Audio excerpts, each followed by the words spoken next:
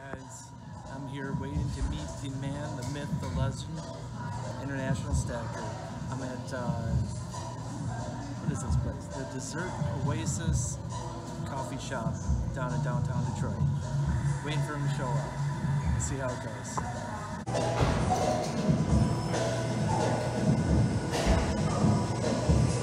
So guys, we did venture outside. You can see the Dessert Oasis coffee shop right there. I am with International Stacker here in downtown Detroit.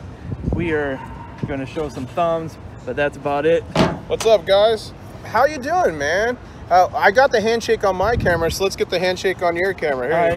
I, I am fantastic. I probably doxed myself. Oh, man, I probably doxed myself. Make No. sure to edit it out. Edit it out. Oh no, it didn't show anything but my fingers, so okay. don't worry. Well, we we did shake hands there. We did shake hands. But yeah, we did shake hands, and uh, it was fantastic meeting you. We, we sat out here for maybe about a half hour or so, shooting the shit. Talked talking. about gold, silver, collectibles.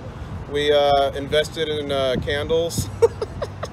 We invested in a young entrepreneur. there we go. There you go. He, he had some hustle, and I appreciate that. And I, you know, I gotta tell you, man, I, I really respect the hell out of you. Even you know, learning a little bit more about yourself, and you know, uh, your your fact that you speak three languages, been all around the world. Thanks, man. Let me ask you, where's your next destination gonna be? You know, so um, I was supposed to go to Poland before the beer flu effed everything up. Oh yeah. um, and that didn't happen. Um, so normally I was traveling overseas nonstop. I'm still planning some overseas travel. I am going to go to Poland, see the Germania Mint and all that. Um, but probably for the next two to three months, I'm going to be hopscotching or skipping across the entire United States on the hunt for the best LCSs uh, in the game. Now, how would you classify the best LCS? What are you looking for?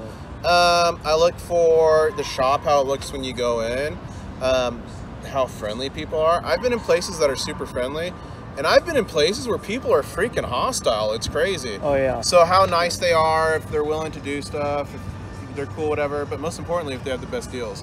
So I'm always going in saying, hey, do you have any silver, foreign silver, or any silver you're going to send to the refiner? I'll pay you spot for them. Because if anyone sends anything to the refiner, they take like a 10% hit on it. Okay. No shit. Yeah, anywhere from two to ten percent. So if someone's sending something to the refiner, they'll sell it to you for spot all day long. So that's one of the first few questions I ask. And no matter what, even if you don't find that, there's always a deal to be had in a coin shop. Either it's going to be a specific bar that they don't know they have that's good, a specific coin around. Uh, maybe they're going to have something poured silver in there from Silver Dragons or Black-haired Bullion that someone you know needed money for and they don't realize what they have. There's always a deal. You just got to search and find it. You're gonna find it. So Right. those are kind of the things. Um, but like I've been in some where they're like, hey, would you like they have like a VIP section? Hey, would you like a soda? Hey, would you like a coffee? Like I've been in some Oh, that's crazy. L- I've been in some crazy LCS. You will not find that around here. No, I know. I'm not expecting that. That was a rarity Okay. for sure. So, like, I, I already promised you, I'm going to email you, you know, a couple of uh, local coin shops, at least that are on the east side. Um, the, the one in particular, and I'll mention, you know, I definitely recommend it. Now, it is a mess Hmm. because they just moved over from a place, um, so they haven't uh, had their stock organized, but definitely look at their Morgans because lots of good VAMs. They don't look for VAMs. Do you know what's sick? I was paying sixteen dollars and twenty five cents a Morgan pre beer flu. See, that's sick. Isn't that sick? now it's like thirty, 30, bucks. yeah, I would say one. 35. Yeah. It depends on which one, you know. That's but- disgusting. Yeah. Why didn't I have thirty thousand dollars to buy him all? You know, it's Mhm. crazy. yeah. So let me ask you this also: uh, How do you how do you like Detroit? You've been here for a couple of days now. I've been here like twelve or fourteen days. 12 or 14 Yeah, days. yeah. Oh my God! I'm. Yeah, I'm having a great time. I got to see a ball game, traveled around, did some tours of some old landmarks around here. Been working, of course, because that's why I travel so much. I work in emergency management, so on my channel I do talk about preparedness and different things. It's kind of one of my expertises.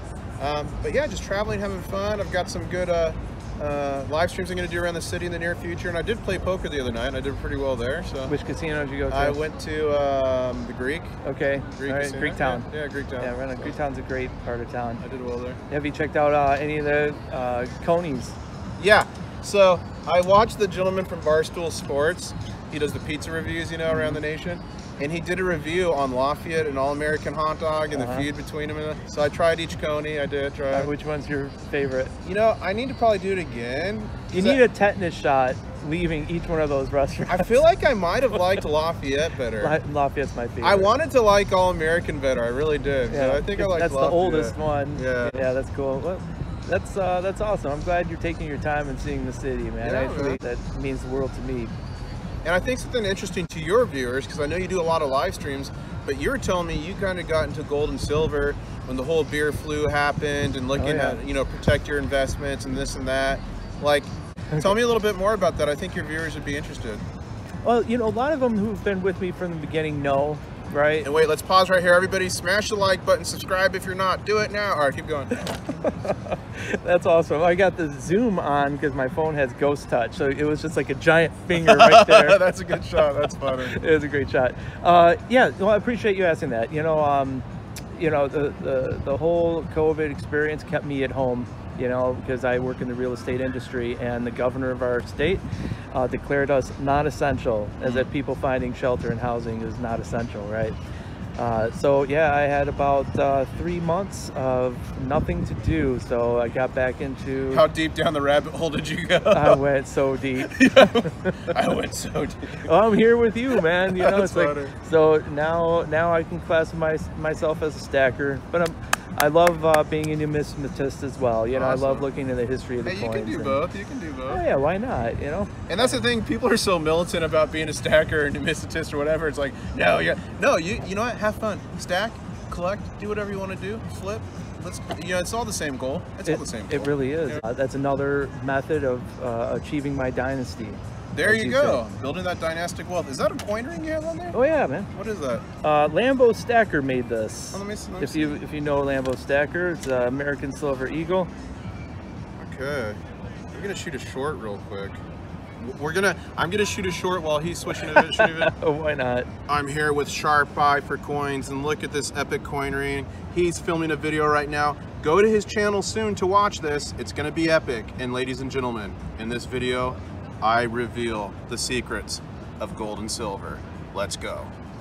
Reveal the secrets of gold and silver. Here's the secrets. Stack it to the sky. That's right. it's gonna protect you. don't you know? worry about spot price. You know, Yeah. just don't worry about it. Get it and tuck it away if you can afford to get rid of that money, you know, that cash. The only reason you're worried about spot price is if you're buying for the short term, which Mm-hmm. with gold and silver you're going to lose. So don't do it. Only get into gold and silver if you're planning to hold for the long term. And then spot prices are relevant. You're buying over time. That mitigates that. That, that takes your uh, dollar cost average and lowers it. But the only caveat is if you have a budget and the market dips, obviously you'd want to buy stronger into the dip. You know what I mean? That's right. But other than that, don't let it dictate you. Like when I first started stacking, I was literally watching the spot price every minute of every day, like, oh my gosh, what's happening? Now I'm just like, whatever. It's an easy what I mean? mistake or easy trap, I should say. Yeah. It's a trap to get into. Uh, well, wiser words were never spoken. You guys, I'm gonna uh, cut it here. You know what I always say: take care of yourselves, take care of each other. Thank you, International Stacker. I appreciate you you being here and interviewing me. You know. Well, thank you, and I guess I'll say, catch you on the next one. right.